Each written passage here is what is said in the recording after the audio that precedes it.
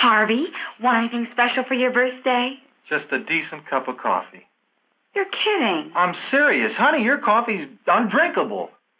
Pretty harsh. Well, so's your coffee. You know, the girls down at the office make better coffee on their hot plates. Well, see you later. And he didn't even kiss me goodbye. You know, if I could just make a decent cup of coffee, I could relax. So, relax. Why don't you try Instant Folgers? Tastes good as fresh perked. Good as fresh perked. I'll surprise Harvey for his birthday tonight. Hey, great coffee. It's instant Folgers. Doesn't it taste good as fresh perked? Better. Better than those girls make at the office.